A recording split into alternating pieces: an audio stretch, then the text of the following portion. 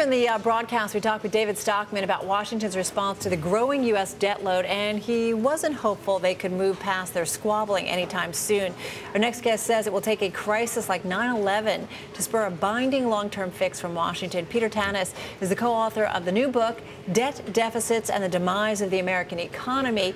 Nassim Taleb, uh, author of The Black Swan, says Before reading this book, I was concerned now I'm scared. And I think Matt and I are a little scared too. Uh, Peter, good to have you here with us. What kind of 9 11 event could happen in your well, view? Uh, of course, we're talking about a financial 9 11. Right.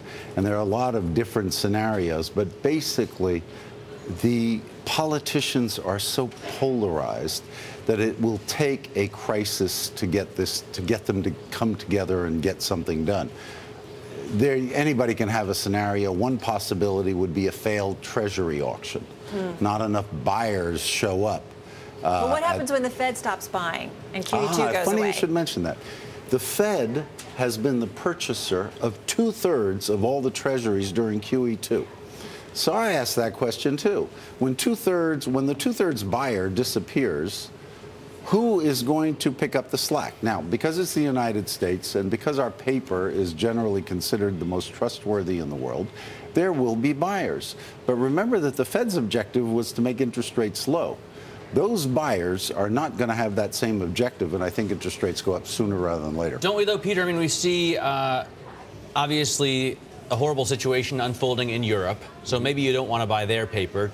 Japanese have more debt than we do, so maybe you don't want to buy their paper. I mean, we are the least dirty shirt, right? That can't that sustain us to 15 trillion in debt, to 20 trillion in debt, to 30 trillion in debt, another 11 increases in the debt ceiling? No, Matt. The simple answer is no. It won't sustain us.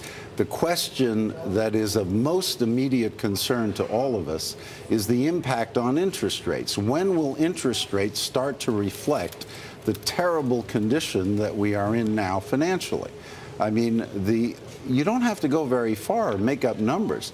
If you just pay attention to what the Congressional Budget Office is saying, and they're nonpartisan, their outlook is pretty scary. Peter, you write in your book, actually it's in the conclusion, we've been here before. It's not the first time the global economy has been held in the death-like grip of debts and deficits.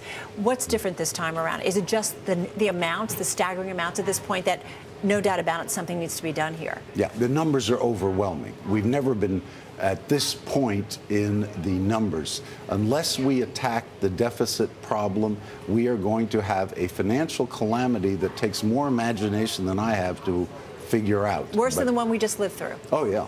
Uh, no question. Look at what's happening in Europe. They told us Greece would never default. Greece will default. They'll call it restructuring, but it's technically a default. And then you have to ask the question, we don't know the answer, where does that lead? You have a domino effect. Does Ireland step up to the plate? What about Spain? What about Portugal? Well, and you say that, that Europe is going to be the trigger mm -hmm. for the, the global catastrophe that must inevitably ensue. When do you think that happens? I mean, is this something that you see happening this summer? Is it imminent? Yeah, uh, timing. I've been in the business long enough to know that timing is not something anybody should try to predict, but I'll give you a range. It, the, it starts with the Greek default because that's the first one that's going to happen, and that the timing soon. is. You think soon? Oh, yeah, anywhere from Monday to uh, the end of the year. But within that time frame, uh, you can be assured that there will be some form of Greek restructuring. How, but how long is this all drawn out? I mean, Matt and I, you know, we talk about what go back a year ago this March, and we were talking about the problems in Greece, and here we are today. So how drawn out is it? Uh, this 9/11 financial 9/11 that you're talking about. It, it, let's just, just to talk to answer your question, Carol, about Greece. Uh, Greeks, the Greeks have debt that is coming due that they're going to have to refinance, which they can't interest rates on Greek debt are in the 20% plus. They can't refinance and they can't pay the debt service. So clearly, the situation is now at a level where if you just draw a straight line, you realize that it can't go on. Uh, the financial crisis as it moves to our shores will be a function of Congress getting together and taking measures to simply bring the budget deficit in balance. Aren't we, though, I mean, at first at least, uh, beneficiary of the European crisis because there's a flight to safety. Yes. Where do you put your money? You're not going to hold it in Greek debt, right? So you, you need a place Absolutely where you can get correct. 3%. Absolutely correct. The, the United States has the most trusted financial institutions in the world. Whenever there's a crisis, we are the location of last resort for capital because we're trusted. The question on the table is what rate should we pay given our own financial situation in this environment? And so I think what we need to be looking for is when interest rates are going to start reflecting it, and I think that's sooner rather than later. Let me ask you, uh, Art Laffer, with whom you've worked before, Yes. said that you've got the proper prescription here. Actually, Sam Donaldson, interestingly enough, from Yeah. ABC News, says if only they would listen to you, everything would be fine. Um, it- are you at all optimistic that Washington will follow your prescription? Because David Stockman uh, seems to think there's there's no way out of this that, that's going to be not uh, not that's going to be pleasant. Well, uh, there's no way out that's going to be pleasant. I agree completely with that statement. There is a way out, and it will be unpleasant. That's why it hasn't happened yet.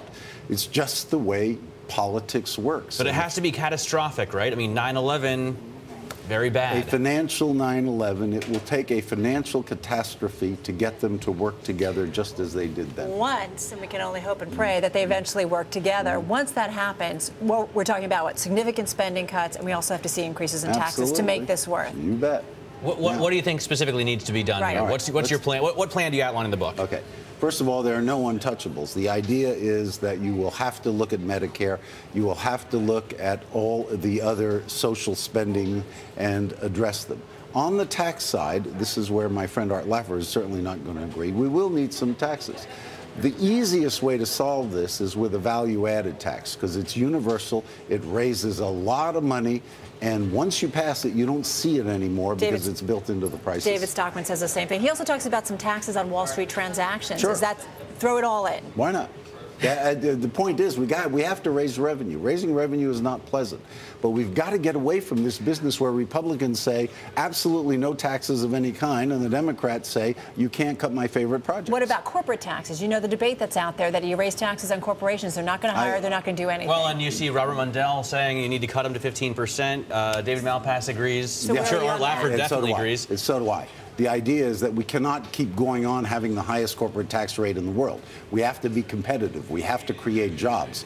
So on that score, there is no question that is part of a total tax package. Some will go up, some will go down. Ultimately, revenues have to go up. We'll get emails though on the real tax rate paid by corporations, as you know the stories that are out there that Yeah. with all But the maybe if loopholes they they, got pay rid a lot less. loopholes hope and they come broadened to the you. base, the real tax rate would be 15%. Yeah, they're coming to you, Exactly. Carol. exactly. Peter, Peter Tanous, thank you so much. Pleasure. Great book.